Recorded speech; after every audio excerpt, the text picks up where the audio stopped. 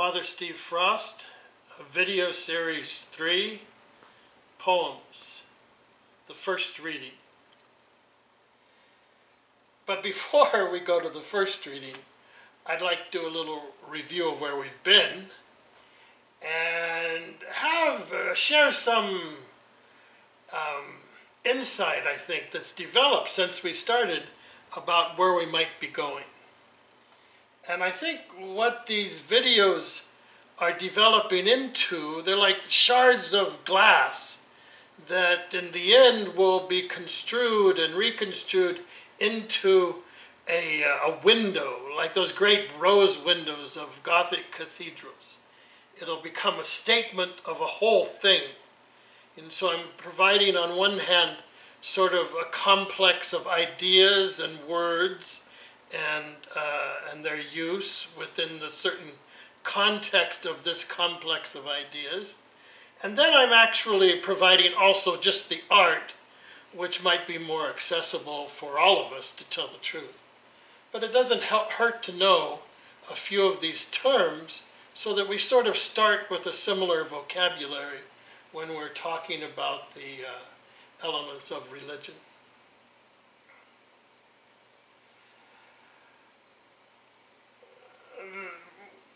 Last time we talked about uh, the pilgrimage tour to Corfu. And before that, even in the first Advent homily, we were talking about the little pilgrimage that the Blessed Mother took when she was pregnant with uh, the Lord Jesus to visit her cousin who was pregnant with John the Baptist. And some of the characteristics of that, but its essential issue was this profound presence of God. Could there be anything more profound than to carry a, a saint and a, and a, uh, a Christ in, in within? Within. That's the important thing after all, because it's, it's within that the transformation takes place. It's an inner experience. So pilgrimage is this very important idea, even in the church where the priest starts at the back of the church or outside the church and processes in to the sanctuary where the, the Holy of Holies takes place.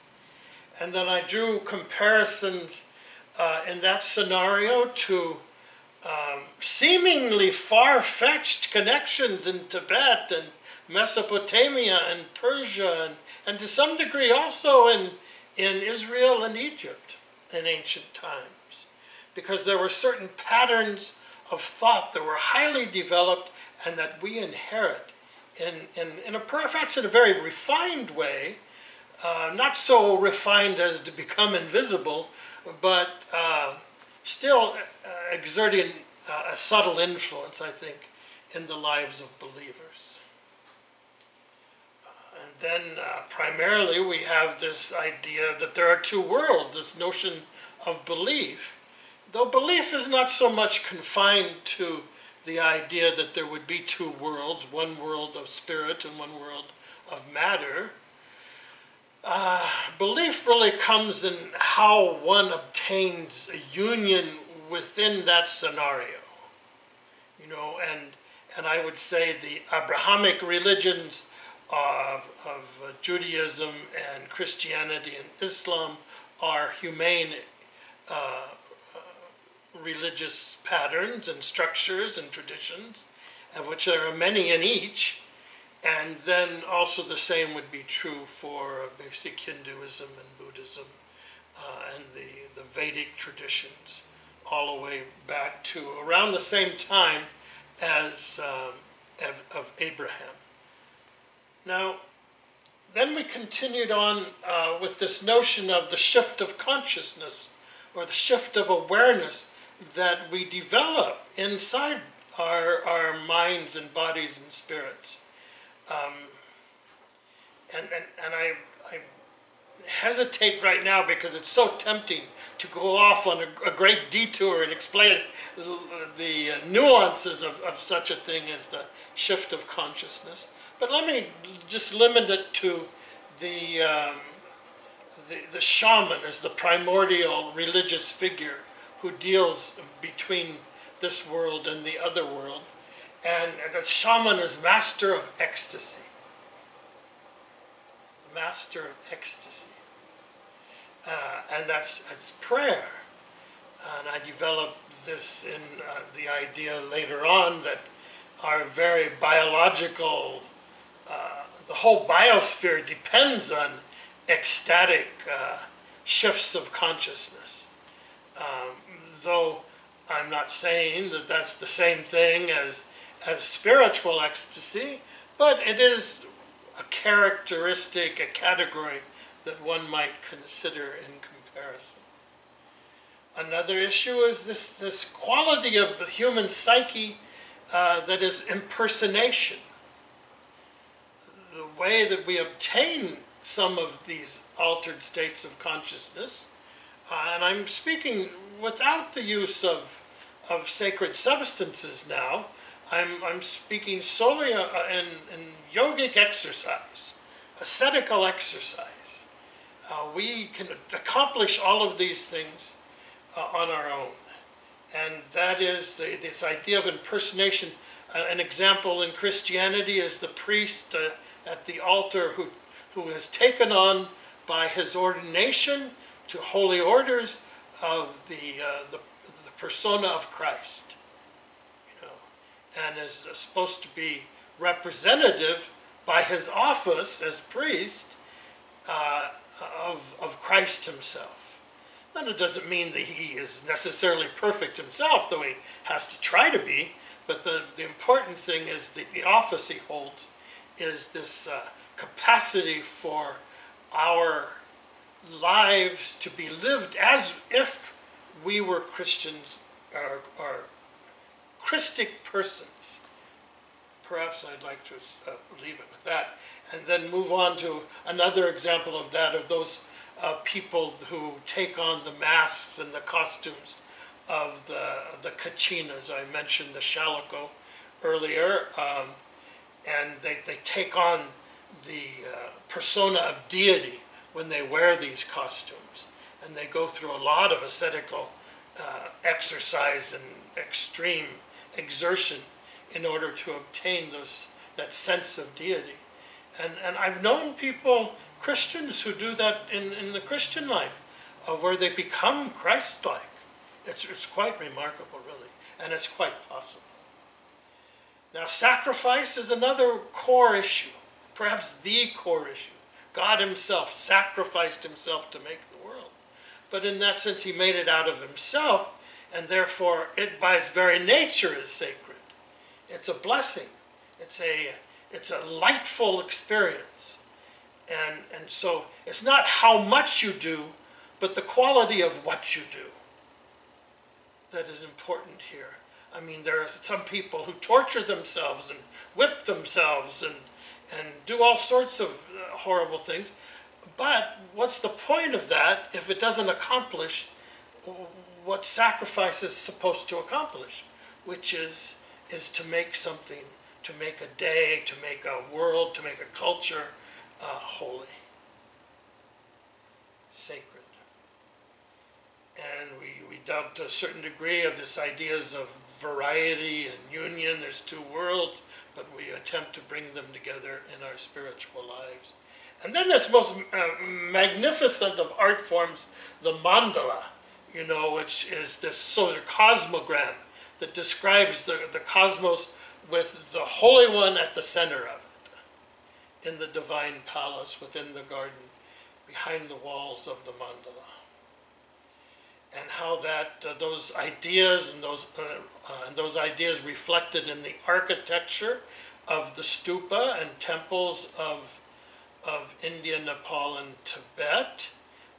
Also, uh, we find uh, echoes of that in Persia and Mesopotamia, and so on, onto the day where churches still are divided in terms of profane and sacred. And then now we come to a, a, new category that I haven't mentioned before, that, but I think is so important, is the experience of the genius loci. And I will develop this as we go along, the spirit of place. You know, that places have character of their own, and the people uh, that, that live there uh, often in the past have sensed this. This is not good for real estate uh, um, speculation, but nonetheless, it is awfully good for the human spirit to be uh, cognizant of the spirit of the place where you are.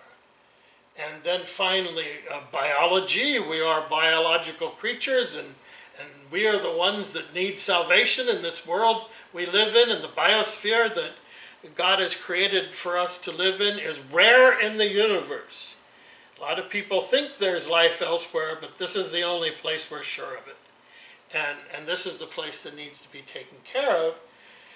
And I think that starts in our own lives, uh, and, and we have to deal honestly with all of those aspects. And so there's no way that one can uh, get away from some level of discussion of sexuality when one is dealing with uh, an estimation of uh, the human experience and the parameters of human perception, which we will in the future.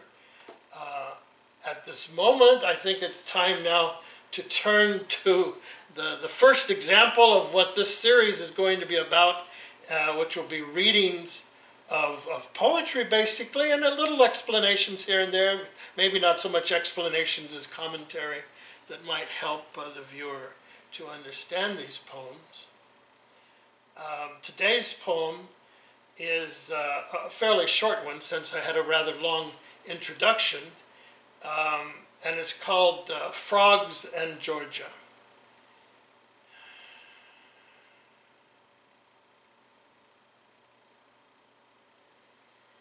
It's hard to explain about frogs, where it usually is dry, excuse me, dry and judge gray, gravel dry.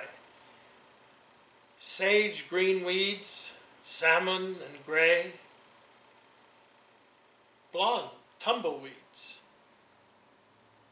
But for the seldom big Nino years, when two inches of clear water would sit zen above the little rocks, sand, gravel, and thousands of frogs. Years hidden that appeared in the big cottonwood hole in that corner of our property, singing all night it seemed. Below, a turn in the road, they had to spread out, and cars had to smash them as they spread out across the road. One car had to miss and aim for the pool in the hole, but a cottonwood caught it for the longest time.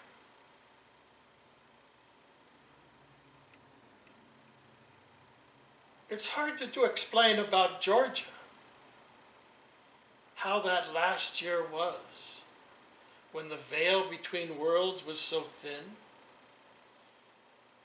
It was payment in full, a blast of pure white light, glancing from a spread of black raven's wing. It was better than anything. How on that plane, back from that oasis in Egypt, seeping its vast aquifer in deep, cold, oracular pools? How if that plane crashed on its way back? Then it would have been okay with me and her, maybe not the rest the bow. But now, John, you're right. There's still to do. I'll follow the streams, I always have, to their source. You will too. And you can give charity if you receive it, Steve. For the love of God, Bill. 2013.